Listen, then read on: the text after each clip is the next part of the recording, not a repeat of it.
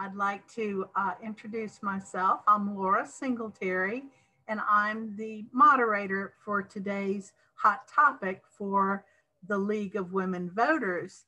And we really appreciate y'all joining us today to hear a little bit about uh, some of the work that our, our, my dear friend, Dr. Lindsay Dubbs, is uh, doing for us today. So I'd like to take a moment and just tell you a little bit about Zoom. You, if you're not muted as you come in, please go ahead and mute yourselves. And you can may want to put it onto speaker view so that you see a large uh, window of the per person who is speaking there. And so uh, with that, I'd like to tell you a little bit about Lindsay. Uh, then the league welcomes you and, and for joining our event featuring Dr. Lindsay Dubbs. Lindsay wears many hats. One of them is co-director for the University of North Carolina Institute for the Environmental uh, of the Environment with the Outer Banks Field Study site. That's hosted by Coastal Studies Institute, CSI. She's also Associate Director for the North Carolina Renewable Ocean Energy Program.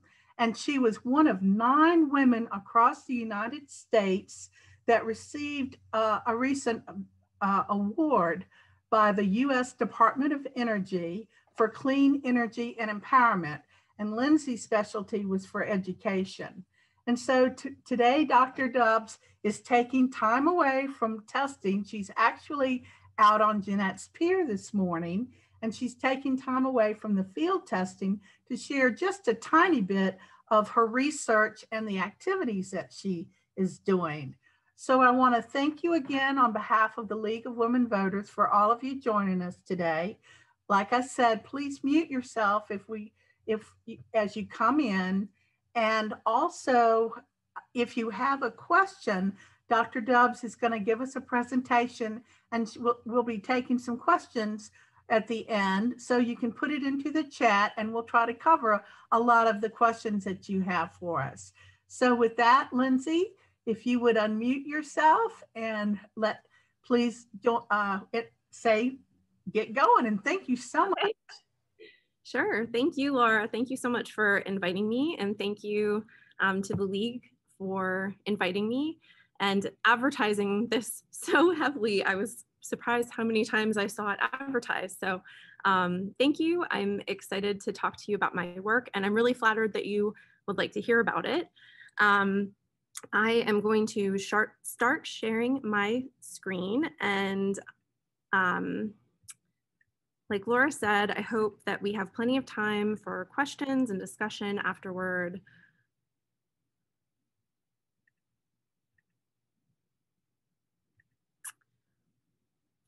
Okay, so um, the, the title of this talk um, came from the award that I um, was recently um, awarded, the Clean Energy Education and Empowerment Award.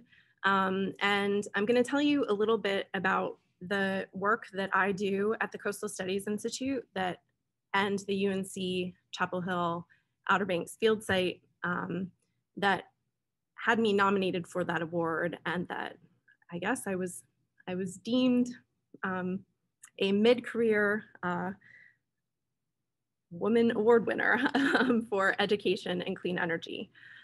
Um, I am at Jennette's Pier right now, so I'm sorry if I'm a, I'm a little more scattered than I would normally be, I think, um, because we are in the middle of some deployment activities. Uh, I wish I could be doing this presentation from the end of the pier that, so that you could see it, but we'll get to that in just a minute. So as Laura said, um, I was one of nine women who, who was um, awarded a Clean Education and Empowerment or C3E award, and that is a program um, funded by the US Department of Energy, MIT, Stanford, and Texas A&M Energy Institute to help to close the gender gap and increase participation, leadership, and success of women in clean energy fields.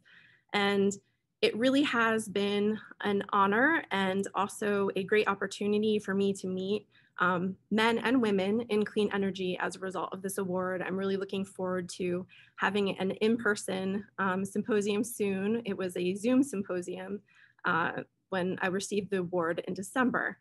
Um, so these awards are given to mid-career women and also there's one lifetime achievement award given. So these are women who are doing clean energy work um, for international efforts, um, for research, government, entrepreneurship, or in my case, education. And so I do have several different jobs um, associated with several different institutions, but um, the locus of each of them is here at the Coastal Studies Institute um, on Roanoke Island. Um, the Coastal Studies Institute is a multi-institutional partnership led by East Carolina University and uh, also with UNC Chapel Hill, North Carolina State University, and UNC Wilmington, as well as Elizabeth City State University. And the Coastal Studies Institute has been a really wonderful place for me to work for, gosh, it's been 12-ish years now, um, because it really has provided so many opportunities to, um, to pursue my curiosity about a lot of different subjects. So I have a fly friend here, so excuse me. Um, the Coastal Studies Institute has provided me opportunities to interact with the public quite a bit, to interact with students quite a bit, and to do really interesting coastal research and also renewable energy research.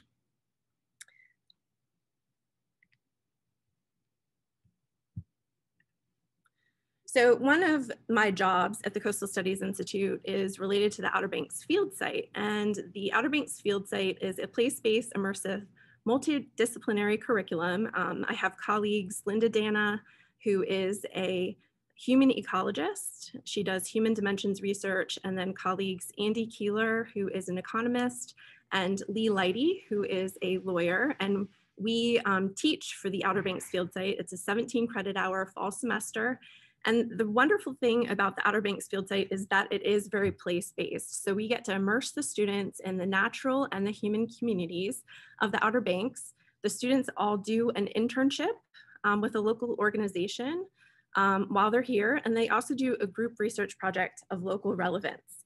Um, we also have a community advisory board that provides local knowledge, advice, and connections for the students. And so these are pictures of, few, of a few of the opportunities that the students um, have to get out and learn more about on the bottom left, water quality in Wanchese Harbor. They were doing an, a um, hydrology lesson in, in this picture. They were analyzing water quality samples from their capstone project on septic systems here in the laboratory. They, we try and visit um, if they have time to talk with us, the um, Wanchese Trawl and Supply, where they talk to us about different fishing gear. And then this is a ghost crab survey actually at Jennette's Pier, where I'm speaking to you from right now.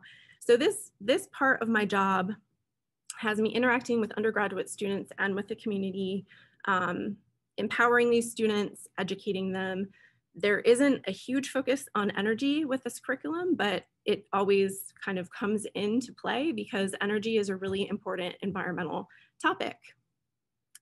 Um, this comprises about one third of, of my job responsibilities, um, directing and um, teaching classes for the Outer Banks field site.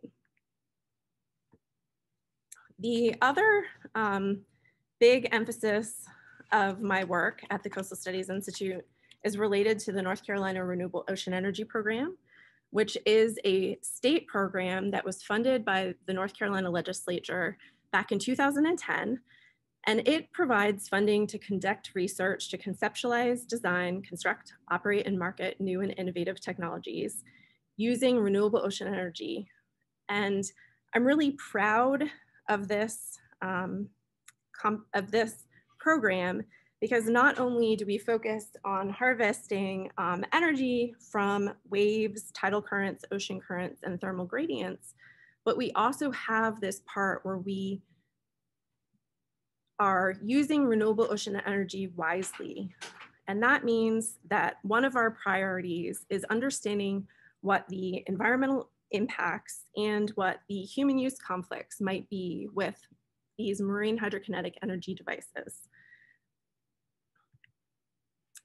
So one of the reasons why we're interested in marine renewable energy is because there are vast resources available within United States waters. So this figure is showing us the resources available um, in the United States and then some, some island states. Um, this is from a recently released uh, report from the National Renewable Energy Lab. And you can see that these resources are wave energy resources, tidal energy resources, ocean current energy resources, ocean thermal resources, and river resources. And so off the coast of North Carolina, our primary resources that are substantial enough to really harness and utilize for either grid scale applications or what are called blue economy applications that I'll tell you a little bit more about in a minute are wave energy, that's what the blue is showing us, and also ocean current energy. And across the United States, that marine energy, those marine energy resources, if we consider all of the technical capacity, that's not, that doesn't take into account places where there are protected areas or there could be some sort of environmental conflict that we um, don't want to make the, take the risk of putting devices there. Just considering the technical capacity, it could um, provide 50% of the electricity generated at utility scale for the United States. So there is this vast um, energy resource out there, renewable energy resource. And just to give you an idea of what these devices that harness the renewable energy resources look like, these are some of the classes of wave energy devices you can see that they kind of move in different orientations relative to wave directions. Some of them are located at the surface of the water, and some of them, like the surge converter, are located on the bottom of the water column. Some of them, like the water, the overtopping terminator, basically have the water come in the top and run through a turbine um, back to the elevation at the, at the base of the wave. Um, and then if we look at current energy technologies, and these can be utilized both for tidal currents coming through inlets, for instance, or for ocean currents at a much larger scale, like the Gulf Stream off of our coast, we also have lots of different orientations, lots of movements relative to the primary flow of the water. And as I mentioned, um, the Department of Energy and, and um, maritime economies have recently been focusing on not only grid scale electricity, so providing electricity for us to turn on the lights, but also these alternative blue economy applications that would require smaller energy sources. So those include power at sea, so ocean observing, um, underwater vehicle charging, marine algae, aquaculturing algae, um, offshore marine aquaculture for fish, and seawater mining, as well as resilient coastal communities. And that includes desalination, um, helping to serve isolated communities that otherwise are using gas powered generators and trucking all of the, that gasoline into their communities, and also for coastal resiliency and disaster response. So um, the challenges of, well, the challenges of the marine energy sector are many. I mean, you all, I assume, are local here to the Outer Banks. Um, and you know that the ocean is very powerful. It is very corrosive. Things rust here. Um, it's also somewhat unpredictable. We sometimes get these really high energy events that are difficult to um, predict and predict the effects on infrastructure. Um, so the Ocean Energy Program, the North Carolina Renewable Ocean Energy Program is really trying to help address some of those challenges faced by the, sec by the sector.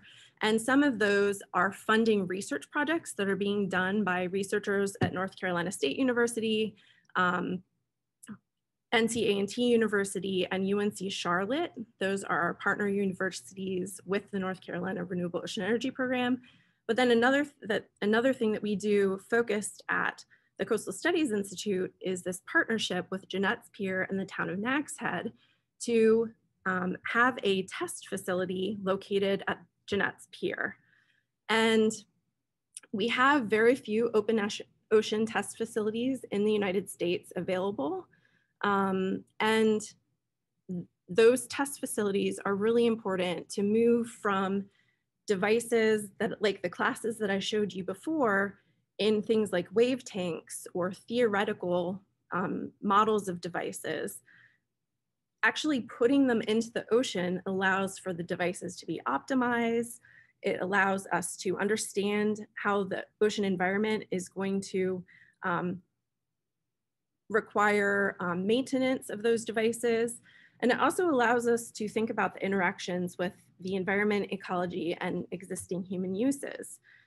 So this, this facility, this infrastructure of a pier is really wonderful because um, it is crossing the beach into the nearshore environment. And so that really helps um, us to reduce a lot of the risks of environmental actions and um, competing with other human uses. And so the permitting process is a bit, little bit easier. Um, and also it allows us um, a lot of interaction with the public. We have been talking to the public all day today about what we're doing and that talking with public, giving them information is really that education of those people is empowering them to understand what these devices look like and how they can help um, maritime applications and perhaps provide electricity for our grid down, down the road. So the test facility basically has two test berth areas. Um, one of them marked by this nearshore test mooring, there's actually one on the north side of the pier and one on the south side of the pier. And they're 50 meter square areas where we can test devices. We also have an offshore test mooring that we haven't used yet and that is located next to an acoustic wave and current profiler. And that acoustic wave and current profiler, as well as some observation um, wave observing buoys that my colleague Mike Muglia installed, um, are providing information that will be really useful for wait for developers to understand this wave climate to optimize devices for this area.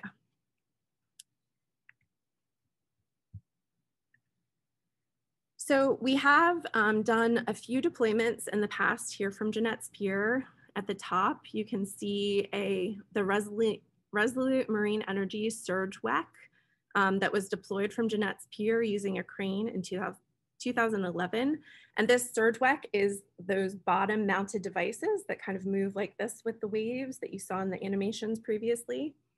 And then this um, buoy is a wave powered desalination buoy and it's really cool. This, this um, device was actually created by two uh, UNC Charlotte uh, engineering students as their master's thesis project. And they created this company and they recently transferred everything from this company, all of the rights associated with the company to um, another group that has taken that over. And I'm gonna refer back to them in a minute. Um, we've, we've also done some testing of other um, observing devices at Jennette's Pier, we did a scour monitor validation for Nortek in 2013. And in 2000, another, um, we also tested another uh, device called an in situ erosion evaluation probe that was created by NC State. So this partnership with Jennette's Pier has been really wonderful. They also have a great education staff here um, with whom our education and outreach staff works very closely. So the um, reason that I am here at Jennette's Pier today is because Jennette's Pier was selected as the location to host the final drink stage of the Waves to Water Prize, which is um, one of the prizes that the Department of Energy is uh, offering under a series called American Made Challenges. So they basically are having these contests where people to help spur innovation, um, especially surrounding renewable energy on um, and its application to uh, blue blue economy purposes. So basically this Waves to Water Prize is just as it said, focused on using the movement of water in waves to desalinate seawater to drinking water. And this shows the deployment areas that we will be deploying the devices. And this arrow indicates the, um, the prevailing wind direction um, in April. So we are here today. We are actually as far as the Waves to Water Prize goes, we are in the create stage. And when I say we, I mean the competitors who are actually designing these devices. And that Saros buoy that I mentioned before has actually transferred to um, another group and they are entering that device into this prize. And so right now there are 10 groups of competitors who are designing, designing these devices. They've made it through these other stages where they're basically just um, providing information about their concept of wave powered desalination. Um, they're then modeling those devices, um, adapting them for the Jennette's Pier test site specifically. And then now a lot of them are creating prototypes, small um, prototypes of their devices. And eventually what the, there will be three to five groups that bring their devices here to Jennette's Pier. They will be deployed um, in these test areas and they'll be competing for half a million dollars um, for the a, a, bunch of different prizes. So I have a video that I'm going to show you in a minute that was developed by Department of Energy and um, John McCord and the education staff at the Coastal Studies Institute that tells you more about the prize. But just wanted to tell you while these developers are working on the create stage, there is a lot to be done to prepare for that drink stage. So that includes environmental permitting, and that is one of the things that I do.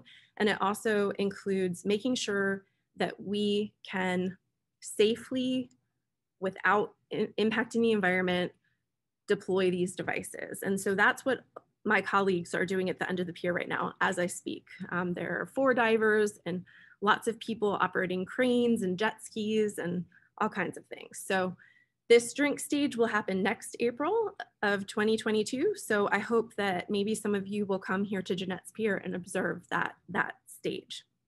But let me play this video for you because they explain it much better than I ever could. Access to safe, clean drinking water is essential for coastal communities around the world. The U.S. You know I just realized I did I'm going to end the show for a minute and I'm going to unshare my screen and I'm going to reshare because I forgot to tell it to optimize video.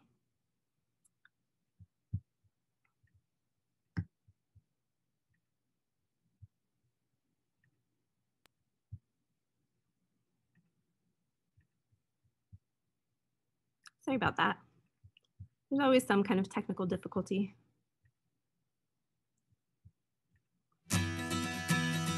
Access to safe, clean drinking water is essential for coastal communities around the world.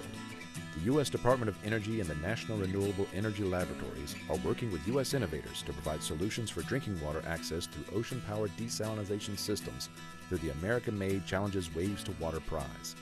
Sponsored by the U.S. Department of Energy Water Power Technologies Office, the Waves to Water Prize is a five stage, $3.3 million contest designed to accelerate the development of small, modular, wave powered desalination systems capable of providing potable drinking water in disaster relief scenarios and remote coastal locations.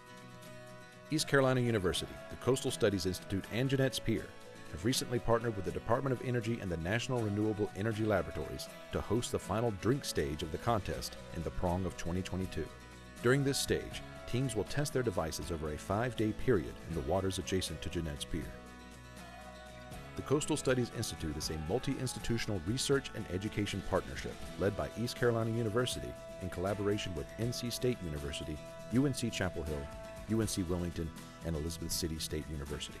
CSI operates a renewable energy testing site in partnership with Jennette's Pier, a North Carolina Aquarium's operated facility located in Nags Head, North Carolina. The research experience, technical expertise, and infrastructure available for deployment and testing make CSI and Jennette's Pier an optimal location and partnership for teams in the drink stage of the Waves to Water prize. A cornerstone of our program has been testing wave energy technologies in the real ocean environment at our testing platform at Jennette's Pier in Nags Head, North Carolina. We're really excited to partner with NREL and Department of Energy and Jennette's Pier on this game-changing way of coupling wave energy technologies with desalination technologies to deliver safe drinking water to our coastal communities. Jennette's Pier is extremely excited about hosting the Waves to Water Challenge because along with our partners, the Coastal Studies Institute, we are uniquely situated to handle each and every task that is going to be thrown at us. We have ample natural resources, we have strong educational relationships, we have an outreach opportunity that is more expansive than anything in the Mid-Atlantic. We can reach a quarter of a million to a half million people a year on site with the information that is generated here from this competition. CSI, Jennette's Pier, and DOE's National Renewable Energy Laboratory are excited to be hosting this final stage of the competition on North Carolina's Outer Banks. The research experience, technical expertise, outreach potential, and infrastructure available make Jennette's Pier the ideal location for the device testing stage for the competition. Join us in the spring of 2022 for this exciting final stage of the Waves to Water Prize.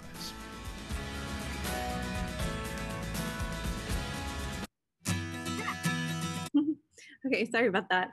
Um, one thing that I wanted to mention before I move on to this other piece of exciting news about our program um, is that these competitors are making these devices and they have to fit within basically a shipping container.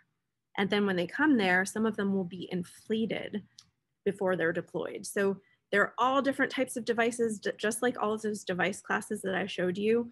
There are all different types of devices. So we're really excited about seeing what the, the innovations will look like, what these designs will look like. Um, and this, this is also a great opportunity for us um, because it helps us prepare for this next um, opportunity that we've been awarded recently. Um, Department of Energy has a series of national uh, renewable energy labs and there's one in Hawaii, there's one on the West Coast, there is one in Florida for Gulfstream, and the Coastal Studies Institute is part of a four-part university consortium that was just awarded the National Renewable Energy Lab for the Atlantic Coast.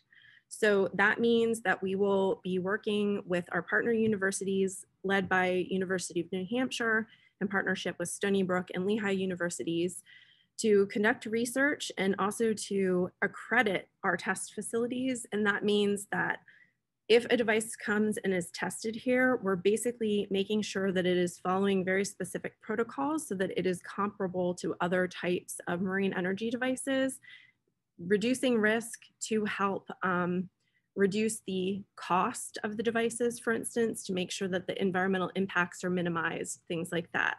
So we're really excited to be part one of these national renewable energy centers and this deployment associated with waves to water and even this practice deployment help us test some of our um, capabilities, kind of what we can do from this test facility, and also um, how we will be measuring different environmental parameters. So I deployed a hydrophone. My, my role for the Renewable Ocean Energy Program is Associate Director, which means I'm helping with some of the leadership um, of the program, the strategic directions, running our annual symposium, things like that. But I'm also in charge of environmental assessment and permitting. So when we think about down the line being part of this National Energy Center, I am supposed to be making measurements or at least telling, you know, the whole group, making decisions about how um, we will make measurements about how these devices might be affecting, making changes in the environment. Um, remember. Oh yeah, and so the other thing that the Coastal Studies Institute is really heavily involved with um, for the Atlantic Marine Energy Center are these cross-cutting things um, that, that allow us to look across the whole East Coast, to look across the energy sector, and especially focusing on blue economy applications of marine energy. And so one of those, um, my colleague Linda D'Anna, who I mentioned before, who I work with at the Outer Banks field site, she's leading stakeholder outreach and engagement, and I'm helping with that, as well as our director, George Bonner, who you just heard speak. And we are interested in you, you are stakeholders, we believe. Um, stakeholders just mean someone with an interest or concern in something. And so for us, this, those stakeholder groups related to marine energy include those involved in the sector, like researchers, industry, and government. Um, so people who are actually doing marine energy. Um, and also those who have an interest in the existing uses of the marine environment where marine hydrokinetic installations may be located. So that is where your group probably comes in a lot. Um, that also includes regulatory agencies um, and those who are responsible for upholding legal protections of areas. Um, and also you also might be among the group that would be interested in the energy that is generated from marine renewable energy, marine hydrokinetic applications. So please, if you would like to be added to our listserv, um, you can actually, I don't know that this NC ROEP listserv started yet, but if you just email me, I can add you at some later date, dubbsl at ecu.edu, and I can put that into the chat later. We would love to keep you informed and, and involve you. So as I said, the other aspect of marine renewable energy that I'm responsible for is thinking about the changes that will be introduced to the marine environment by that development and how those specific changes are going to affect the environment and ecology of this place. And so changes when we think about these two actual installations of devices, this is the OPT power buoy. So this is a wave device that basically floats at the top of the water. Um, and then this one is an ocean current company, Magallanes Renewables. They're out of Spain and there are giant turbines underneath this barge. So this is an ocean current harvesting device. Um, so when we, when we think about this development, there are undoubtedly going to be structures that were not there previously. There also will be some sort of moving component of those devices. Um, there will be mooring lines and cables associated with the devices. And there will also be increased vessel traffic as the devices are put into place and then during um, operation and maintenance. And those changes can um, negatively or positively affect our environment. And so my job is to kind of think about what those changes might be. And a lot of them can be mitigated. A lot of them can be reduced by the proper siting of devices. So we are starting to think about that for our region. And that requires us to really understand the distribution of organisms, how they're using spaces, why they're using spaces, so as I said, the changes could create habitat. So all of a sudden you have structures and those almost act like reefs. Those reefs could then attract fish to them. Um, but there's also displacement of habitat. There's dis displacement of water column habitat as well as that sandy habitat. Um, and there are changes in hydrodynamics and those changes in hydrodynamics could affect things like nutrient cycling. Um, so a lot of times there are more nutrients near the bottom of the water column and those could be brought up to the top. That would be beneficial for things like aquaculture, um, especially of marine algae, because those algae um, like those would like those nutrients and it would actually increase their productivity. Um, but it can also cause things like scour, changes in hydrodynamics. Moving components can, po can pose a strike risk for some marine organisms. There can also be a reduction in energy, and that isn't is again something that could be, um, if properly sited, utilized for human benefit. So energy reduction means that as you're taking that energy out of the water column, there is no longer as much energy behind the devices. So it could um, perhaps mitigate erosion, the re reduce erosion of shorelines, for instance. Moving components will also add noise to the marine environment. Um, mooring lines and transmission cables could, could pose a risk for entanglement and also um, emit electromagnetics. So both sound and electromagnetic um, sensory uh, cues are really important for a lot of marine organisms, and that's why we're that's why we're um, concerned about those. Um, and then increased vessel traffic could also introduce noise or pose strike risks. So we're thinking about these things as we're moving forward with um, helping to support the sector. We're also thinking about what these environmental impacts might be. And so one of the um, one of my foci um, for thinking about that has what it I basically started by thinking about what we know about marine uh, organisms and especially protected species and those that are really important for the base of our um, food web for the primary producers and the nutrient cycling aspects um, of the food web. And so uh, one of the tools that I've utilized is tagging and tracking sea turtles because I noticed that we don't know very much, especially when we look at the ocean currents, we don't know very much about how sea turtles are using that Gulf Stream current. And as I said, um, the, once those structures are put in place and there are moving components, um, there, there could be risk of strike or entanglement.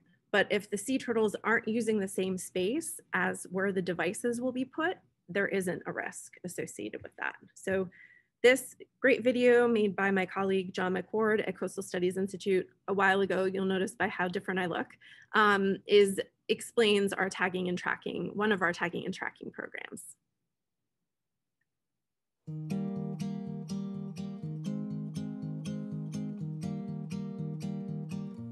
We are interested in how sea turtles are using the Gulf Stream environment. And so we tagged five juvenile sea turtles that were collected from North Carolina beaches down south and were raised at the Pine Knoll Shores Aquarium until they were the size that we could attach a solar satellite tag to them and release them in the Gulf Stream amongst sargassum.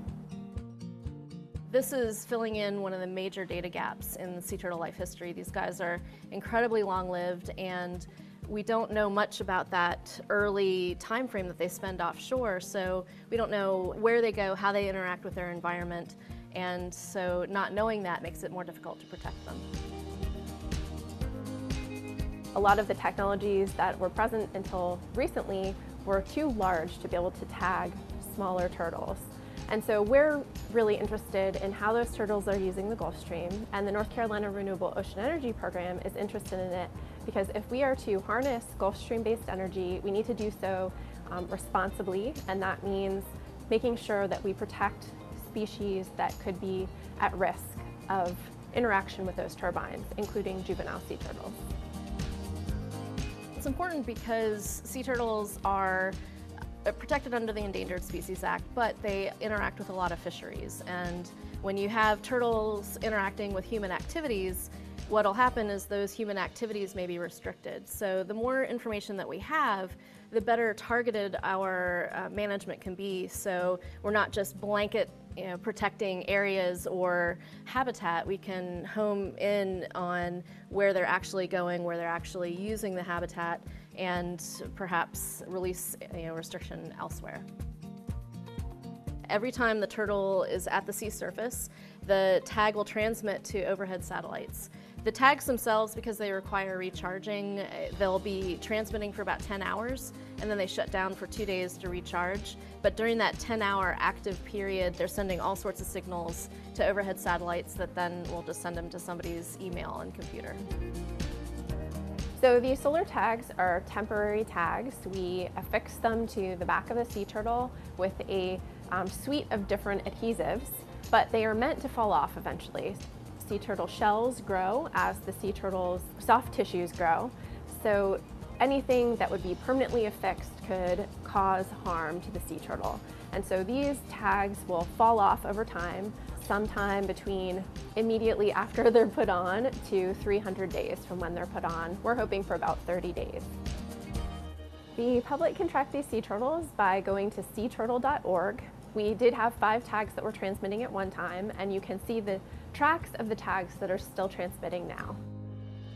Projects like this are important because not only is it providing information for our program, for the North Carolina Renewable Ocean Energy Program, and maybe supporting the development of Gulf Stream-based energy, but it's also just providing us information about a organism that is really interesting to the general public and is also uh, protected. And so the more that we know about these animals, the more that we can make decisions to help protect them. Okay, so um, that gives you a little bit of background on why we did the tagging.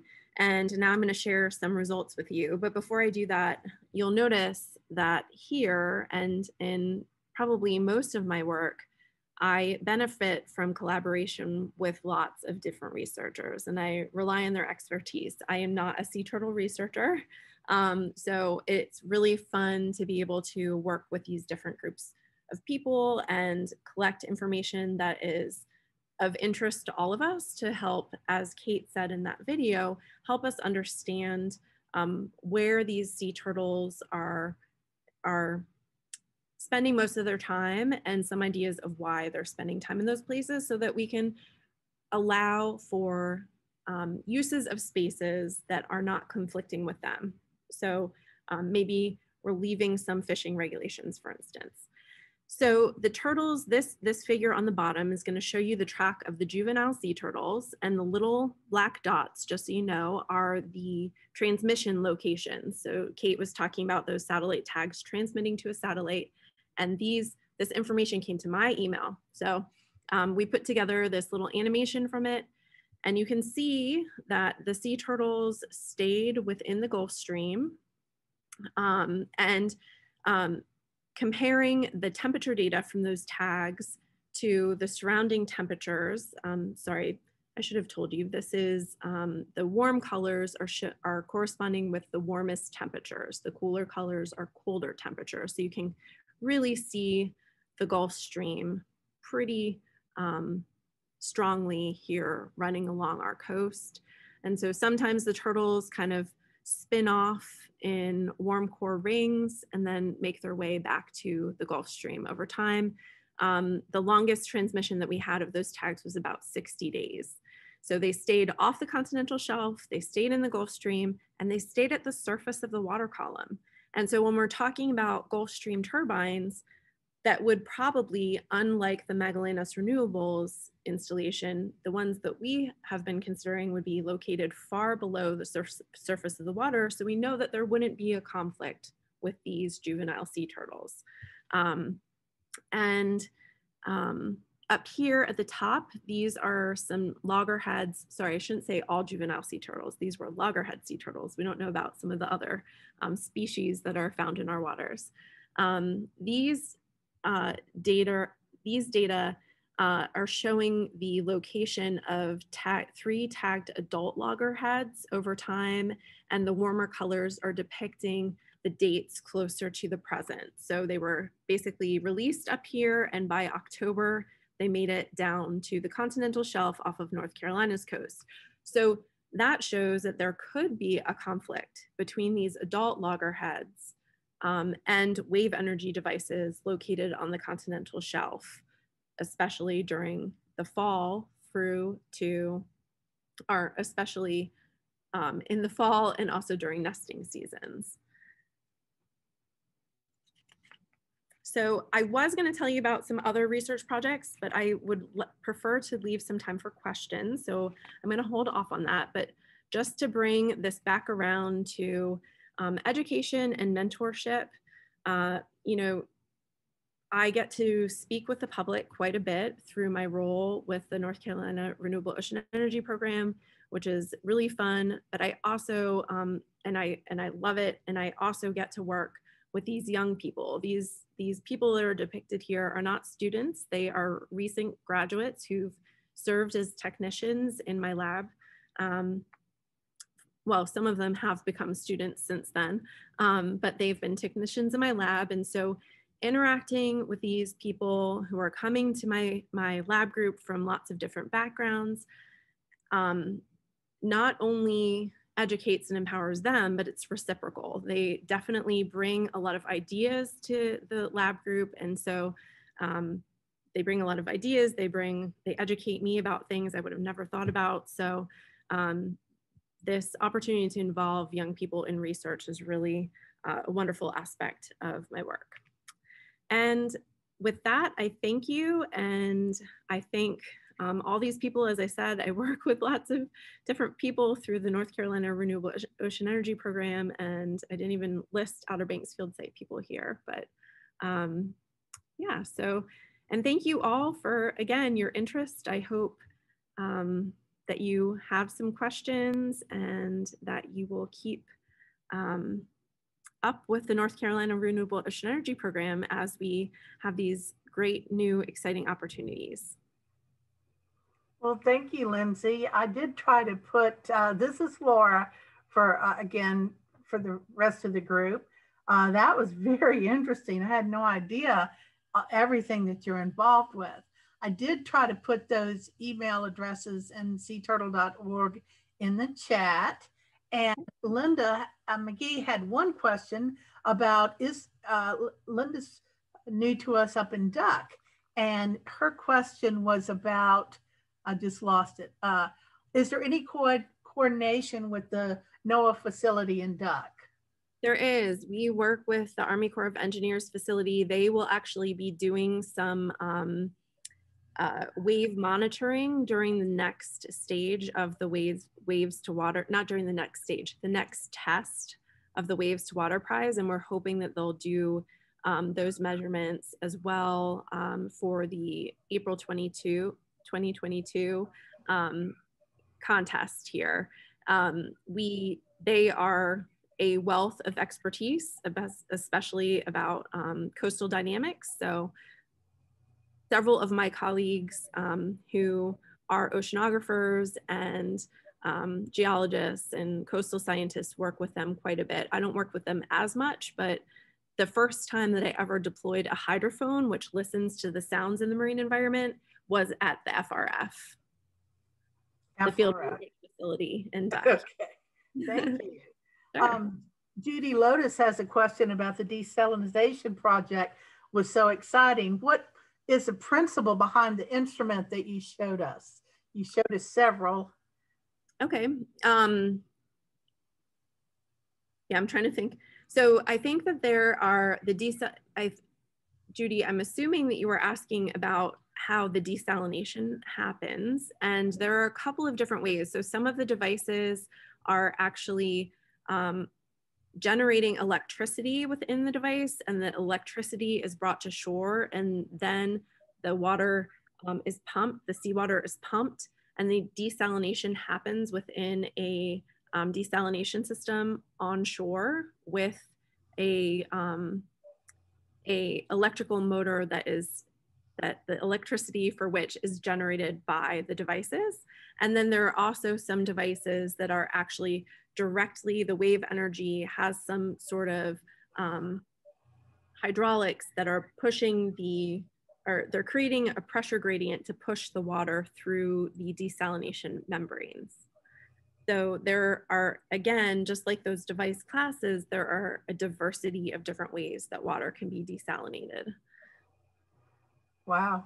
Uh, just kind of follow up on that made me think about uh, we know here on the Outer Banks, we have a desalination plant and the water is very expensive. Mm-hmm. I, I, imagine that one of the goals for all of these new equipment is the cost to help it. And in the, yeah. the DOE video, they talked about in, in um, remote locations that were impacted by storms or what have you. Mm-hmm. Yes, this, the, the, um, basically the, the idea of desalination in coastal locations that require desalinated water, getting electricity directly locally, basically, um, to for those really high energy um, processes is definitely um, one of the ideas that makes this so exciting because right now wave energy is definitely way more wave or electricity from wave energy is definitely way more expensive than wind energy or solar energy for instance okay we're we got a ways to go yes and this is from someone rosemary rollins Hi, rosemary. you make us so proud thank you her question is that you mentioned that students from the OBX field site take local internships. Where do they become interns? Mm. So um, we have our program because it is that multidisciplinary kind of environmental decision making program. Uh, we often have a lot of placements with local planning departments. So we've had people with Dare County Planning Department, as well as several of the towns. Um, we have them with local non-government organizations like um, the Nature Conservancy and the North Carolina Coastal Federation. Um, we've had them with consulting firms, um, the National Park Service, US Fish and Wildlife. So um, Jennette's Pier, uh, one of the students who's coming in fall of 2021 recently messaged me that she's really interested in like making infographics and things. So um, some of them are interested, they all come in with these interests. Oh, the, the district attorney's office always takes an intern, which is wonderful um, because we have a lot of law students uh, in, that come to the field site as well. And then Coastal Studies Institute, we take a lot of students and involve them in our research projects. And then actually the Unitarian Universalist congregation has a um, intern as well. Thank you. Um, Monica Thibodeau has a question. Thank you. Do you have a specific date for April 2022?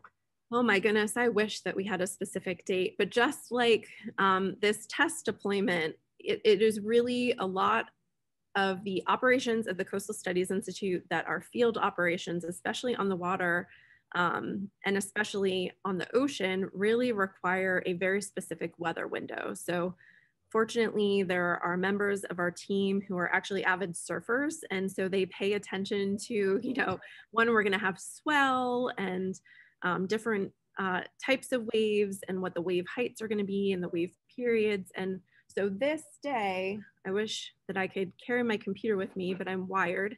Um, this day, if you may, if you have a chance to go out to the ocean, you'll see that it's very flat. It's relatively sunny. It's the perfect day for deployment. So this is what we're going to hope for for April 2022, but we don't know when that will happen. well, uh, as many of you who registered for this program know that we, we had to be flexible because there was a chance that Lindsay wouldn't be available today, that she would be offshore.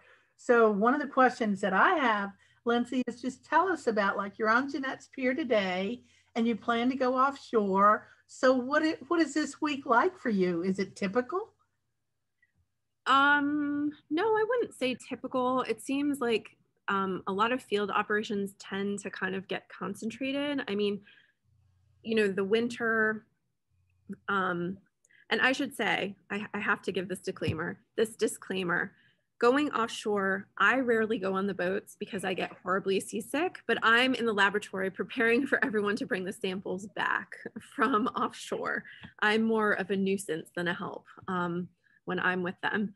But, but this is not really a, a typical week, except that there have been very few um, windows where the weather has been conducive to field work until now. And so um, we um, we've been ramping up for a new set of experiments for the Gulf Stream.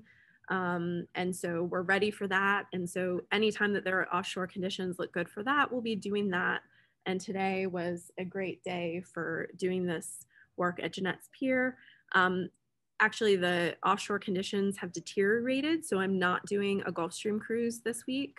Um, and we're hoping to be able to do one next week. Yeah, that's always the, uh, living on the beach is is wonderful because it's when you used to visit here, you always knew it was beautiful weather the day you had to leave. right. We love living here, and it's such a joy for you to join us today, Lindsay. And we can't thank you enough for your time and the research. Uh, you, you talked about your teaching and everything, but you do some very interesting and unique research as well that I know you didn't even get into at all today. But uh, I'll leave a, um, another minute or two in case there are any other questions. Applause, applause. I'm, I'm seeing you, Kathy. from Kathy Jorgensen. So we appreciate your time today. And are there any uh, any other questions, people? Let us know. And uh, any any thoughts that you have for us, Lindsay? As as you know, we all love the Outer Banks, uh, and we love the interaction with the ocean. Yeah, so I encourage you, if you haven't already connected with the Coastal Studies Institute and East Carolina University Outer Banks campus, please do. We have a great program every month called Meet the Scientist. Um, hopefully someday soon we'll get, be getting back to um, our biannual uh, open houses.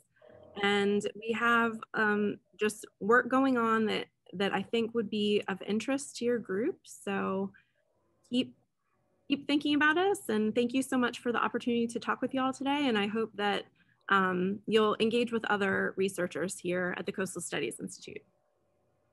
Well, we've got a couple of more comments besides the applause and the clapping. Uh, Charlotte Pedigo sa says, thank you so much. It was so interesting. And I don't know if it's Gail or Angelo, but Sinesso says wonderful info. Thank you so much. And uh, we all do thank you for joining us today and best of luck to, to you, Lindsay. And be seeing you soon, I guess. Yes.